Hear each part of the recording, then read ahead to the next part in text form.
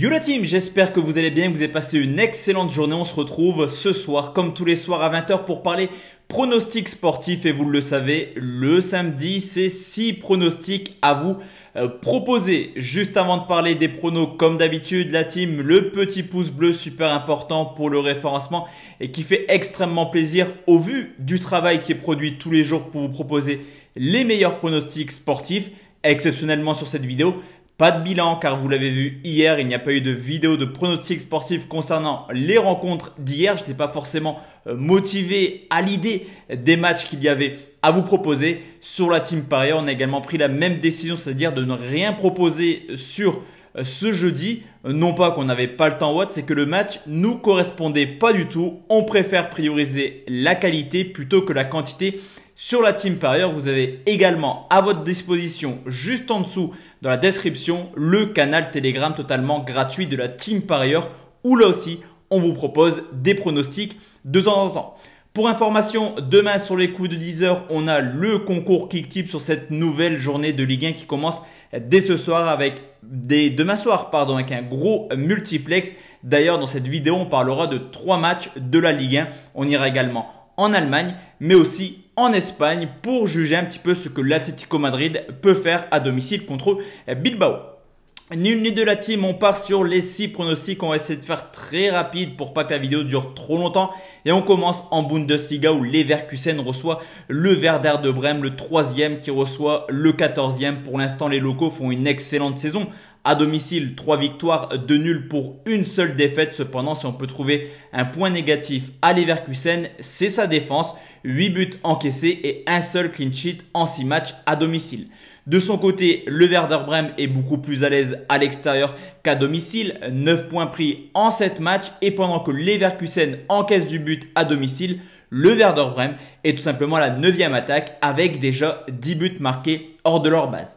Au niveau de l'état de forme, Leverkusen reste sur deux défaites, que ce soit contre Leverkusen mais également contre Francfort sur le score de 2 buts 1. 4 buts encaissés en deux matchs, ce qui confirme le fait que Leverkusen a pas mal de problèmes défensifs cette année. En 15 matchs de Bundesliga, il y a eu seulement 4 clean sheets. Certes, le Werder Bremen n'est pas en forme actuellement, une seule victoire sur les 11 derniers matchs de Bundesliga, cependant ça reste une équipe assez offensive qui même dans une période très compliquée en termes de résultats arrive toujours à trouver le chemin défilé adverse. 11 rencontres, une victoire, mais ils ont quand même marqué dans 9 rencontres différentes. Au niveau de l'historique, c'est plutôt du 50-50 cette confrontation. Les 10 dernières rencontres ont vu les Verkusen s'imposer 3 fois, 4 nuls pour 3 victoires pour le Werder Bremen. Mais ce qui est plutôt intéressant, c'est de constater que généralement les matchs entre les Verkusen et Bremen sont des rencontres extrêmement prolifiques. Sur les 10 derniers matchs, 8 fois les deux équipes ont marqué. Ça sera mon pronostic. Les deux équipes marquent, c'est coté à 1,70. Deuxième pronostic, on va rester en Bundesliga, c'est Leipzig qui reçoit Dortmund, le deuxième qui reçoit le quatrième. Leipzig intraitable à domicile, 6 victoires, un nul, meilleure défense avec 3 buts encaissés, mais Dortmund, comme tous les ans, est plutôt à l'aise également hors de leur base avec déjà 4 victoires en 7 matchs. C'est l'une des équipes qui a le plus gagné à l'extérieur. Défensivement, c'est plutôt solide également. Quatrième défense avec seulement 8 buts encaissés. Alors certes, Leipzig est sur une excellente série et peut réellement concurrencer le Bayern Munich cette année. Il reste sur 8 matchs sans défaite, également 4 matchs de suite sans encaisser le moindre but. Cependant, le retour d'Aland a clairement fait du bien à Dortmund, qui a vécu un mois de novembre et de décembre assez compliqué. Ils viennent de s'imposer 2-0 à domicile contre Wolfsburg et feront en sorte de perpétuer cette petite série d'invincibilité. Historiquement, on peut également remarquer que depuis l'arrivée de Leipzig en Bundesliga, la donnée simple, Dortmund réalise de belles prestations à l'extérieur. Une victoire pour Leipzig, un nul, deux victoires pour Dortmund. De plus, pas mal de blessés de match du côté de Leipzig. Je pense à Moukelier, également Nkunku ou Konaté. Tout porte à croire que Dortmund a un coup à jouer demain. Je vais partir sur Dortmund ou nul, côté 1,60.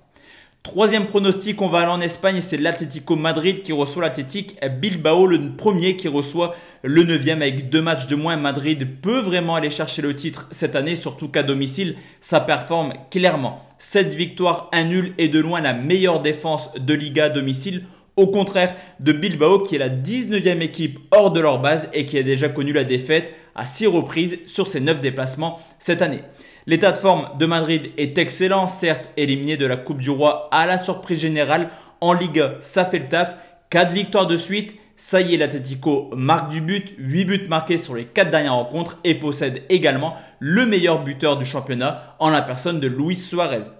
Du côté de Bilbao, belle prestation tout de même contre le Barça pour une défaite sur le score de 3 buts à 2, mais une défaite qui confirme clairement que Bilbao a du mal contre les gros euh, cette année. C'est la quatrième équipe du top 4 que Bilbao a affronté cette année. Les trois premières confrontations contre le Barça justement, la Sociedad ou l'Oral se sont toujours conclues euh, par une défaite.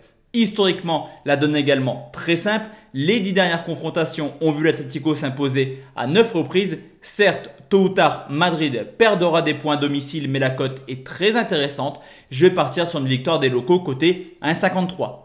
Nouveau pronostic, la team on va en Ligue 1, c'est Dijon qui reçoit Marseille, le 18e qui reçoit le 5e. Pour l'instant, Dijon est la seule équipe à ne pas avoir connu la victoire à domicile et qui a marqué seulement 3 buts, ce qui en fait la plus mauvaise attaque à domicile. Au contraire, des Marseillais qui sont déjà imposés 5 fois en 8 matchs à l'extérieur et qui possèdent une très bonne défense avec seulement 7 buts encaissés.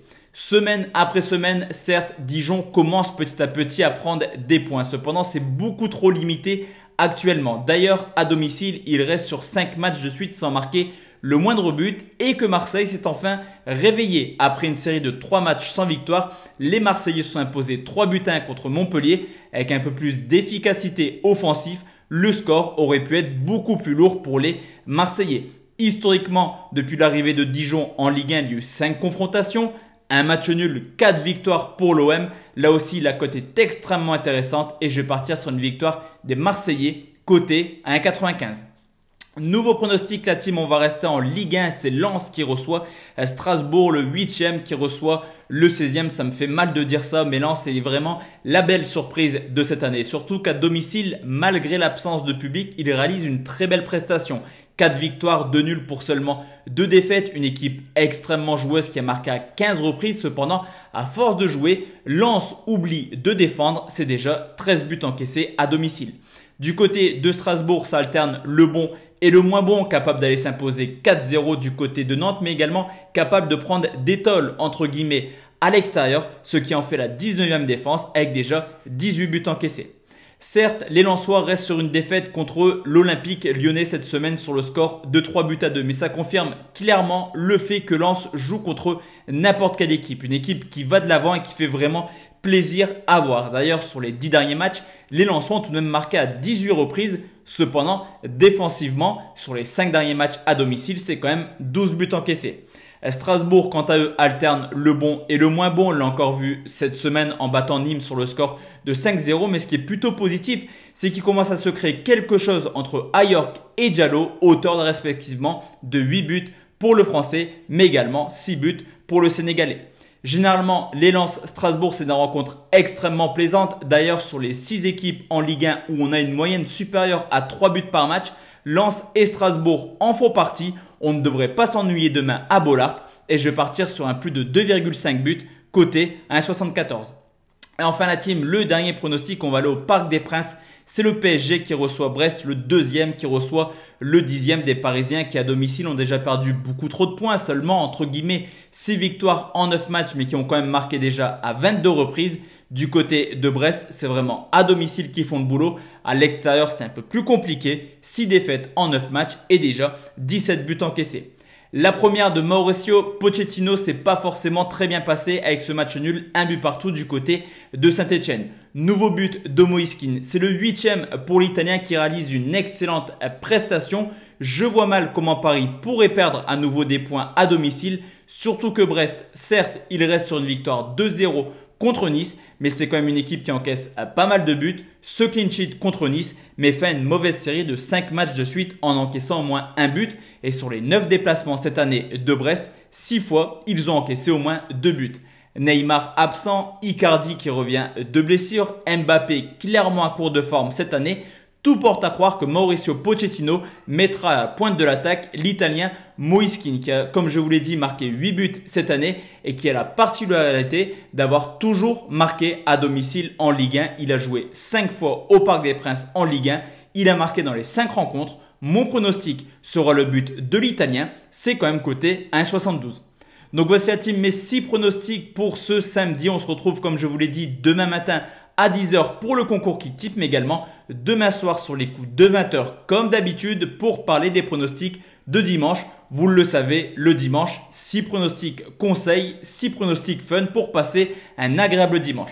Excellente soirée à tous et à toutes et on se retrouve demain soir, plutôt demain matin la team. Ciao ciao